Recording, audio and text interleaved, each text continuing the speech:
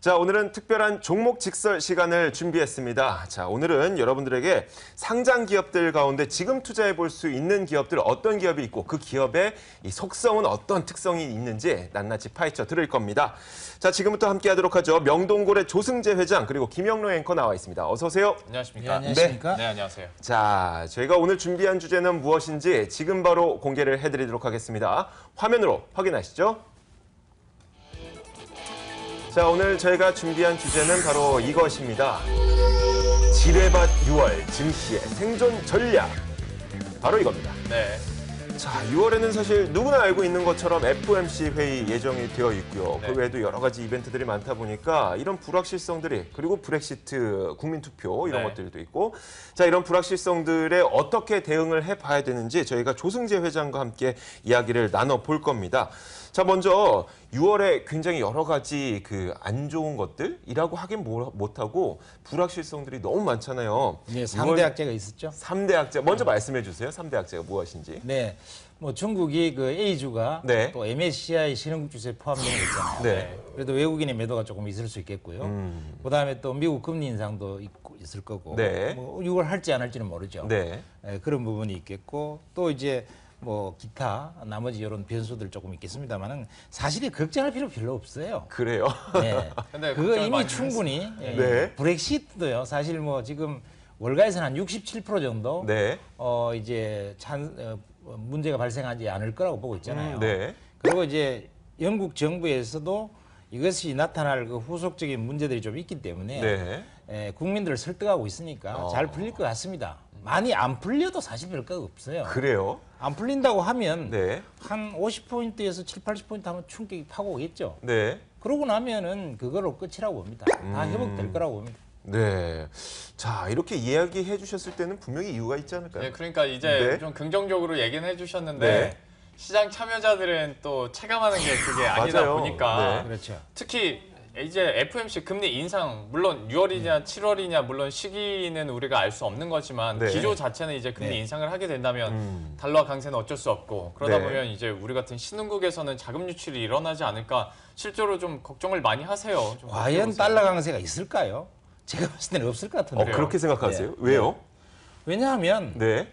이 예고된 악재는 이미 예고 어, 악재가 아니고 네. 충분히 예고된 상황에서의 가격 음. 변동은 그 역전의 바- 변동성이 일어날 가능성이 높고요. 네. 선반영이 됐기 때문에 그렇죠. 어. 선반영이. 에, 지금 미국 경제 수준에 봤을 때는 지금 달러 수준이 적당하거든요. 네. 이 이상 더 달러가 강세로 가면 미국도 골치가 아파요. 어. 미국도 부채가 워낙 많으니까 그렇죠. 이자 부담도 엄청나게 늘어날 네. 것이고 수출이 또 안 될 거 아닙니까? 음. 달러 강세되면 그렇죠. 런 부분이기 때문에 어느 정도 수준에서 이게 마감이 되는 것이지 끝없이 올라가는 게 아니죠. 음. 그리고 또 금리를 끝없이 올립니까? 그게 아니고 에, 시장 금리 수준을 현실적으로 반영하는 수준에 그치는 거거든요. 네. 그렇다고 하면은 충격은 별로 없고 이게 어. 2년 동안 떠든, 떠든 문제잖아요. 네. 사실상 금리 인상을 이번에 6월이든 7월이든 하고 나면 네. 제가 봤을 때는 달러 강세가 더 이상 일어나지 않을 거로 봅니다. 네. 음, 자, 사실 근데 요즘에 주도할 것이다라고 예상이 되는 혹은 전망이 되고 있는 그런 산업들 보면 네. 달러 강세를 전제 조건 하에 그렇게 그 분석을 하시는 분들이 있거든요. 그게 이제 선반영이 되고 있는 거죠. 그러면은 조승재 회장은 네. 좀 의견이 다르겠네요. 6월을 주도하게 될 산업군은 좀 다른 쪽에서 나타날 수도 있다. 이렇게 생각하실 수도 있겠네요. 그, 그것은 뭐 꼭 그 달러 강세냐 아니냐 이 여파가 아니고 네. 우리나라의 산업의 구조가 지금 바뀌고 있잖아요. 음. 산업 구조와 패러다임이 바뀌고 있기 때문에 에, 되는 산업 안 되는 산업 네. 넷이 구분되고 있거든요. 네. 그래서 기본적으로는 이 우리나라가 글로벌 경쟁력을 가지고 있고 네. 또 중국하고 맞짱 떠야 되, 되잖아요. 네. 이 중국은 뭐 제조업 2025를 통해서 또 신창타의 정책을 정해서 아주 강력한 산업 구조 개편을 하고 있으니까 네. 에, 결국 중국하고 우리나라 산업이 맞부딪혀서 경쟁해야 되는 산업은 결국 장기적으로는 사양 산업이 될 수밖에 없거든요. 음. 그래서 맞짱을 안 뜰 수 있고 네. 우리가 강점을 절대적으로 가질 수 있고 음. 또 독특하게 아직 중국이 우리를 못 따라올 수 있는 섹터 네. 그런 쪽에서 결국 산업들이 이야. 음. 지속적인 상승세가 나온다 이렇게 봐야 되겠죠. 네. 계속 설명은 해주시는데 제가 단도직입적으로 여쭤볼게요. 네네. 그럼 6월에도 결국 맞짱을 뗄 수 있는 뭐 제약바이오, 그렇죠. 뭐 화장품 그쪽 네. 생각하고 계신 거예요? 뭐 전기차라든가 네. 네. 그다음에 또 이 한국이 또 세계에서 어, 시장 점유율 1위로 가 있는 산업들이 좀 조금 있어요. 니치 예. 산업들이. 뭐 예를 들면 뭐 천연피혁 같은 것도 세계 1등 기업, 2등급이 한국에 있는 거거든요. 음. 네. 그래서 이렇게 니치 시장에서라도 한국이 세계 1등의 위치를 점유하고 있는 것들, 이런 또 작은 섹터는 또 좋아진다 말이죠. 자, 천연 피혁 말씀하셨으니까 바로 좀 이어가 볼게요. 네네. 우리나라에 천연 피혁을 생산하고 있는 상장 기업 있지 않습니까? 두개 있죠. 네. 어디 어디죠? 조광피혁하고 네. 삼양통상이죠. 그런데 그 가운데는 어떤 게 더 좋아 보이세요? 일단 그 조광피혁은 뭐 시장 점유나 이쪽에서는 다 앞서지만 네. 삼양 통상이 여러 가지 자산 가치라든가 네. 실적 베이스 또 그다음에 저평가 수준에서는 삼양 통상이 더 좋은 것 같아요. 삼양 통상이요. 딱 제가 한 1년 됐나요? 네. 그, 그 1년 전에 여기 설전에 한번 나오셨 나왔는데 네. 그때 나와서 제가 삼양통상을 추천했어요. 그랬었어요. 아, 네. 6만 원에 딱 추천해서 네. 어, 이거 10만 원은 돌파할 거다 그랬는데 정확히 한 몇 달 사이에 12만 원 갔었죠. 이야, 네. 그래서 그래서 그때 이제 다른 그 저하고 이제 설전에서 붙었던 분이 네. 아 이거 너무 바, 바닥에서 두 배 올랐었거든요. 네. 너무 오른 주식 말하는 거 아니냐. 그래서 부담스럽다고 말씀을 많이 하시는데 네. 어, 10만 원 돌파 틀림없다 얘기니까. 네. 야, 12만 원 딱까지. 말씀하신 김에 저희가 삼양통상 좀 긴 1년짜리 뭐 예, 주가를 한번 네. 예, 한번 보죠. 네, 한번 보여주시죠. 어, 저희는 그 준비되는 동안 계속 이야기를 한번 해볼게요. 예, 예. 일단 그 삼양통상에서 이 1년 동안의 움직임은 좋았었어요. 예, 예. 하지만 지금은 어떤지 지금 상황에 대한 이야기를 좀 해주셔야죠. 예. 삼양통상의 주가는 보면은 이제 3만 원대에서 네. 어, 한 12만 원대까지 올랐다가 네. 에, 제가 6만 원 추천해서 12만 원 돌파했었는데 네. 올랐다가 그다음에 박살이 났죠. 네. 어, 주가가 아주 큰 폭으로 떨어져서 네. 어, 4만 원 정도까지 내려왔다가 근데 저 당시에 올라서 무슨 슈퍼개미 루머 이런 거 있지 않았었어요? 있었죠. 그게 뭐였었죠? 예, 주식농부 박영옥 씨가 네. 지분을 갖고 있 갖고 있다는 것 때문에 네. 조광피혁이 박살이 났어요. 아, 그래서 사실 삼양통상은 별로 안 갖고 있었는데 네. 에, 조광피혁이 이제 선도주가 팍 깨지니까 조광피혁은 만 원에서 15만 원 갔거든요. 음. 네. 그게 많이 부러지니까 이제 바로 이 2등에 있는 이것도 괜히 그냥 곁다리로 귀샤대기를 얻어맞은 거예요. 네. 삼양통상 뭐 근데 저는 죄송합니다. 차트만 이렇게 봤을 때 네. 거래량 밑부분이 거래량이잖아요. 그렇죠. 네. 거래량이 거의 안 보일 정도로 너무 작다 보니까 네. 과연 이런 종목 근데 이렇게 들어가도 괜찮은 거예요? 괜찮죠. 왜냐하면 네. 뭘그 여러 가지 찾더니 거래량이니 그런 거 말라고 봅니까? 기업의 가치를 봐야죠. 그래요. 에, 지금 네. 우리나라에요. 1억 미만의 돈으로 100억 이상의 돈을 번 슈퍼개미들 치고 네. 거래량 많고 거래하기 좋은 대형주 갖고 매매한 사람 아무도 없습니다. 음, 전부 다 중소형주죠. 왜 네. 그럴까요? 왜 그렇다고 생각하십니까? 제가 물어볼게요. 그러니까 이제 장기적으로 뭐 가치 투자를 생각하고 뭐 하시는 거예요? 아, 그런 것보다 더 앞서는 게요. 네. 이 거래가 좀 적은 중소형주가 가치에 비해서 저평가된 게 많거든요. 그렇죠. 네. 거래가 잘 되고 유명하면 벌써 자기 가치를 다 반영돼 있거든요. 맞아요. 먹을 떡이 적은 네. 거예요. 그래서 거래량이 뭐 몇만 주 안 된다 이런 것은 큰 부담이 안 되고요. 이게 좀 고가주기 때문에 네. 근데 대표님, 근데 제 주위에는요, 네네. HTS를 키면 어떤 종목을 골라볼까 하다가 제일 처음에 뜨는 창이 거래량 급등 종목. 어, 네. 그걸로 많이들 보시더라고요. 그러니까 예. 좀 단타 치시는 그렇죠. 분들. 네. 그렇죠. 그런 분들에게는 참 메리트가 없을 수도 있겠다 싶기도 한데 좀? 단타를 뭐 예를 들면 1박 2일 하겠다 그러면 이런 주식에 들어가면 안 되죠. 네. 저는 또 1박 2일 전문이 전혀 아닙니다. 아, 네. 그래서 1박 2일이라 그러면은 다른 데 가보라 그러죠. 왜냐면 저는 도박꾼이 노는꾼이 아니기 때문에 네. 역시 그렇죠. 기업 가치를 봤을 때 예. 어, 자 그럼 기업 가치가 어떤지 한번 이야기해 볼게요. 네. 이 일단은 천연 피혁으로 사업을 하고 있는 네. 그런 기업인데 실제로 이 천연 피혁이 많이 사용되고 있어요. 어, 지금 이제 이 천연피혁은 소, 천연피혁 쉽게 하면 소가죽이거든요. 네. 이 소가죽이 에, 기술이 굉장히 발전해서 지금 고급화되고 있습니다. 네. 그래서 처음에는 뭐 소가죽이 뭐 무슨 어, 가죽 옷이라든가 네. 아니면 핸드백 정도에서 네. 뭐 중저가 때 네. 이런 데 정도만 사용이 쭉 되고 있다가 네. 벨트라든가 그렇죠. 이런 정도 사용이 되고 있다가 이게 이제 상당히 기술이 점점 고급화되고 네. 음. 가공 능력이 아주 뛰어나지니까 이제 최근에 와서는 이제 자동차 시트 쪽으로 아, 그다음에 또 네. 패션을 즐기는 옷으로도 이제 이게 나가고 있어요. 그래서 음. 굉장히 고급화되고 있거든요. 어. 그러니까 원래 이제 소가죽의 그 아주 그 거친 질감의 개념의 소가죽 섹터에서는 시장이 작았는데 네. 이게 시장이 점점 고급화되면서 아주 품질이 좋게 나오는 거예요. 네. 시장이 점점 커지고 있고 음. 이 천연피혁은 한국이 세계 1등입니다. 네. 그리고 기술도 세계 1등이에요. 오. 아직 중국이 도저히 못 따라오는 수준이고요.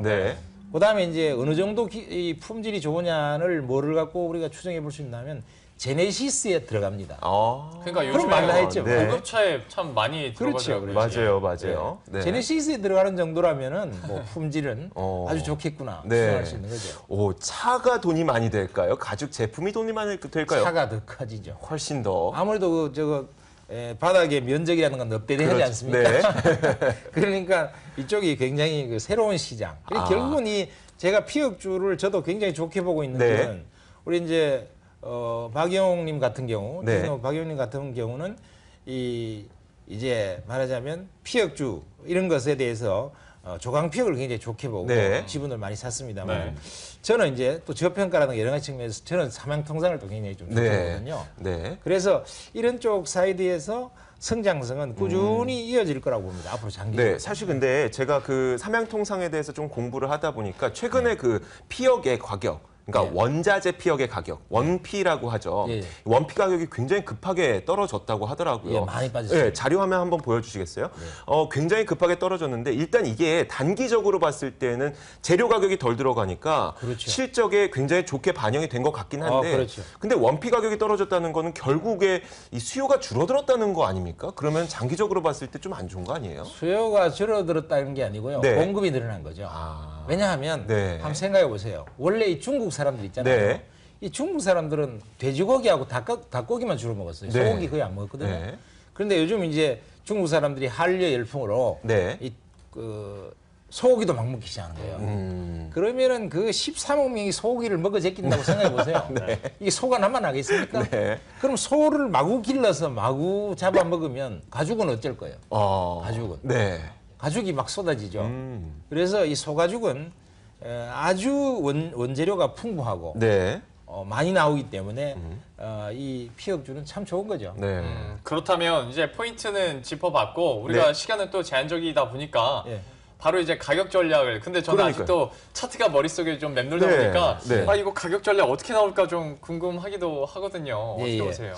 어, 가격 전략은 어, 지금 이제 조금 낮게 사면 좋겠죠. 오늘 한 5만 천 원 정도 하나요? 좀 올라서 반등이 조금 강하게. 우리 뭐 이게 이 정보가 빠져나갔습니까? 왜 오르죠? 네. 튀어버렸는데요. 어, 어쨌든 5만 원 밑에 사면 좋을 것 같아요. 5만 원 밑에. 음, 한 네. 4만 9천 원이라고 제가 제시해 드렸지만 어쨌든 5만 원 밑쪽에서 좀 사서 그다음에 한 10만 원 정도는 충분히 보셔도 될 것 같아요. 네. 어, 전번에 제가 봐드렸던 것이 이제 10만 원, 작년에도 그랬었는데 에, 올해는 이제 한 올해도 한 10만 원 정도 충분히 그 정도 갈만할 것 같고 뭐 손절가는 4만 4천 원 잡아드릴게요. 네. 저 이게 진짜 미련한 질문이라는 건 아는데 네. 네. 개인 투자자들이 많이 궁금해하실 것 같아요. 네, 목표 주가 두 배잖아요. 네, 네. 기간을 얼마나 봐야 돼요? 기간 뭐 1년 미만일 것 같은데요. 그래요? 한 아, 6개월에서 그래요? 1년 정도면 워낙 좀. 약간 지지부진하게 네. 지금까지는 가서 네. 음, 1년 정도. 아니 오랫동안 엎드린 놈이 일어나면 무섭잖아요. 아, 하긴 그래요, 맞아요. 네, 알겠습니다. 자, 그러면 이번에는 저희가 참 좋은 레저 한번 볼까요? 참 좋은 예. 레저. 제가 기업 설명을 간략하게 해드리면 일단 크게 두 가지의 사업을 하고 있어요. 그 자전거 사업과 여행 사업. 예. 그런데 일단 매출 구조로만 보면은 자전거 사업이 한 60%. 예, 맞습니다. 그리고 여행 사업이 한 40%의 매출 예. 이렇게 보이고 있어요. 자, 그런데 그 여행 사업을 하다 보니까 얼마 전에 그 유럽에서 테러가 있었잖아요. 그렇죠. 그런 것들이 좀 최근에 악재로 작용하지 않았나 싶은데 앞으로는 좀 어떨까요? 어 이제 테러가 이제 네. 앞으로는 많이 일어나기 어려울 겁니다. 왜냐하면 그만큼 어, 이 검찰이라 경찰이라든가 이런 쪽에 강화되지 않겠어요? 검문 검색이. 네. 네. 그러면은 아무래도 이제 그 테러 분자들이 활동하기가 쉽지 않겠죠. 네. 뭐 그런 부분이 있을 것이고요. 어, 그래서 여행 부분도 이제 뭐 좀 잠잠해질 것입니다. 그런 그리고 테러가 또 여러 번 일어난다 하더라도 이제는 작은 것밖에 못 일어나기 때문에 네. 처음에 일어났을 때 쇼크가 있는 거지. 자꾸 일어나면 뭐 둔감하죠. 그렇죠. 네. 자꾸 일어나면 또 안 되겠지만 안 되죠. 예 네. 그래도 약간 이런 리스크에 대해서도 어느 정도 시장이 감안은 하고 있다라고 친다면 네. 그렇다면 이제 여행과 또 자전거 얘기를 해주셨으니까 그렇죠. 실적은 어떻게 좀 잘 나올 것으로 예상이 계속 되고 작년보다는 상당히 좋아질 것 같아요. 왜냐하면 작년은 메르스 사태가 있었거든요. 음. 네. 그렇죠. 그게 제일 충격이거든요. 그게 어. 기억 안 나십니까? 메르스 사태 났을 때 약간 나이 든 사람은 밖에 못 나갔을걸요. 맞아요. 그럼요. 그리고 예. 어린 분들 그 자- 어린 자녀 갖고 계신 분들도 거의 안 나갔어요. 모임 자체를 안 아, 가졌죠. 맞아요, 예. 맞아요. 모임이 네. 다 안 가지고 식당이 전부 다 예약 다 취소되고 네, 난리가 났었죠. 네. 그때에 비하면은 지금은 뭐 그렇게까지 충격적인 무슨 음. 어, 자제 뭐 여러 가지 뭐 지카 바이러스 있지만 네. 그런 거 없잖아요. 네. 그런 측면에서 여행은 완전히 이제 회복이 된다고 보고 작년이 최악이었거든요. 네. 근데 그 최악인 상태에서도 실적이 그 전년도보다는 조금 늘었어요. 네. 그럼 올해는 메르스가 없기 때문에 어. 뭐 테러 유럽 테러도 약간 있- 있었지만 네. 영향이 조금 있었지만 이제부터는 좋아질 것 같아요. 어. 특히 이제 이 여행은 여름 성수기잖아요. 네. 여름 방학 때 되면 겁나게 가지 않습니까? 그렇죠. 네. 그렇기 때문에 앞으로는 상당히 좋을 것 같은데요. 지금 완전 주가가 바닥인 것 같아요. 어, 저는 근데 이 참 좋은 레저도 공부하면서 좀 궁금했던 점이 있었어요. 네. 그 앞서서 말씀드렸던 게 자전거 사업이 매출 60%. 예, 예. 그리고 이 여행이 40%라고 말씀드렸잖아요. 예. 근데 영업이익을 보니까 예. 완전 정반대인 거예요. 예, 예. 여행이 거의 99%가 나오고 예. 자전거가 한 기껏해 1%? 예. 너무나도 이 자전거 실적 깎아먹는 거 아닌가요? 자전거 사업을 들고 있어서 오히려 독이 되는 거 아닌가요? 아닙니다. 아니에요? 이 이제 참좋은 내전은 네. 예, 고급 자전거를 하고 있거든요. 네. 그래서 첼로 같은 걸 하고 있는데 네. 이 고급 자전거 시장이 네. 이제 런칭하는 초기 단계인 거예요. 어. 그러니까 마케팅 비용이라든가 네. 지금 이제 중국도 진출하거든요. 음. 해외 마케팅 비용을 필두로 해서 국내 마케팅도 초기 단계에 이게 시장을 선점하기 위한 비용이 많이 나기 때문에 이 실적이 별로 안 나와요. 네. 저는 근데 그 전에 좀 네. 자전거에서 참 좋은 레저가 긴가민가 했었거든요. 네. 근데 제가 자전거를 취미로 하다 보니까 어. 첼로를 말씀하시는 그 순간 신뢰도가 아, 갑자기 그러면 좋죠. 김영로 앵커가 자전거 매니아의 입장에서 첼로가 네. 어떤 자전거인지 좀 간략하게 설명해 주세요. 그러니까 입문자들은 네. 삼천리 자전거나 알톤 스포츠에서 나오는 것들을 많이 해요. 네. 그런데 이제 욕심이 생기잖아요. 네. 그래서 한 단계 업그레이드 하면 이제 첼로로 넘어가는 아, 거거든요. 지금 보이는 저 자전거가 예. 첼로. 네. 그렇다 보니까 어 이제 그 영업이익이 좀 반대로 간다는 것도 좀 이해가 가는 것이 저거는 그러니까 수로 따지는 게 아니라 질로 따지는 아, 부분도 있고 뭐 네. 그러다 보면 고가 장비가 가다 보면 음. 역시 이 부분에서도 충분히 메리트는 생길 수 있을 거라고 저는 생각하네요. 자, 그러면 우리가 이제 지금부터는 주가 이야기 한번 해볼게요. 네. 네. 참 좋은 레저도 주가의 움직임이 준비가 되어 있으면 한번 화면으로 보여주세요. 최근에 그런데 이 참 좋은 레저의 움직임이 별로 그렇게 그렇다 할 움직임은 없었다고 많은 분들이 생각을 하실 거예요. 네. 혹시 그랬던 특별한 이유가 있을까요? 뭐그 그래 어, 뭐 좋은 게 별로 없었다 정도 아니고 네. 아주 죽을 섰죠. 네. 죽을 서고 바닥을 벅벅 따지고 있는데요. 네. 원래 이제 이런 게 좋은 차대예요. 주가가 찌그러져 갖고 바닥을 박박 따지는 거. 네. 사실은 고수들은 요럴 때 삽니다. 음. 그런데 이제 하수들이 뭐 좀 들어서 주가가 좀 올라와서 본격적으로 좀 갈 것쯤 해서 이제 중간거리 사죠. 네. 예, 원래 최고수들이나 슈퍼게임들은 전부 다 바닥에 벅벅 따지고 찌그러져 있는 거. 네. 이런 것 때부터 매집이 시작되죠. 차트 본 김에 그러면 가격 전략도 아예 세워 주시죠. 예, 이 참좋은 레저 같은 경우에는 한 9,500원 정도 이하에 사시면 좋을 것 같아요. 네. 좋을 것 같고 목표 주가는 바로 앞에 있는 고점이 17,000원 정도 충분히 갈 것 같습니다. 아, 오늘 목표 주가가 다 두 배요? 네. 아 글쎄 뭐 저는 기본적으로 두 배고요. 네. 두 배 아니면은 아예 매수를 안 합니다. 야, 그 정도 해야 투자지. 그렇죠. 그리고 네. 한 2, 3년, 1, 2년 내다 봤을 때한세 배, 네배이 정도 봐야 먹을 그래요. 떡이 있죠. 네, 알겠습니다. 자, 이어서 세 번째 기업 준비되어 있습니다. 네. LG생명과학. 일단 LG생명과학 어떻게 보시는 기업인지 한번 얘기해 주실까요? 예, LG 생명학은 뭐 잘, 모두 잘 알고 계시죠. 네. 어, 이게 이제 국내 바이오 기업에서 원조 기업이죠. 그렇죠. 그리고 조중명 씨가 이제 연구소장으로 있으면서 우리나라의 많은 그 바이오 인재들을 길러내고 또 이랬었는데 어, 이 회사는 에, 신약 글로벌 신약 계약도 이미 하나 출, 어, 출시해서 판매한 경험도 있습니다. 네. 그리고 이제 당뇨병 치료 같은 이런 대사성 질환을 중심으로 하기 때문에 네. 어, 안정적으로 어떻게 보면 품목들이 쭉 네. 성장할 수 있는 네. 이런 품목이고 이 당뇨 신약하고 필러가 지금 현재 사실 캐시카우거든요. 네. 그래서 매출액 성, 매출과 이익이 꾸준한 성장세를 보이고 있는데 에, 이 주식의 단점도 있어요. 뭔가요? 이 주식의 단점이 보면은 인재들을 그동안 대우를 안 했어. 아. 그러니까 월급도 많이 안 올려주고 아, 네. 사실 지금 바이오 시대가 왔잖아요. 네.